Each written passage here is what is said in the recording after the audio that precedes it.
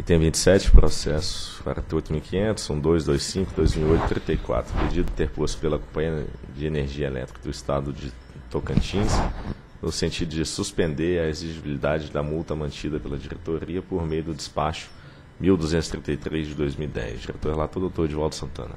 É semelhante ao caso anterior, do mesmo grupo, portanto, posso passar direto para o dispositivo. Diante do exposto do que consta do processo ao Estado, voto por conhecer no mérito aprovimento ao pedido da Celtin, no sentido de suspender de forma cautelar a exigibilidade da multa aplicada pelo AI 47, essa da SFE, e mantida pelo despacho 1233 de 2010. É o voto.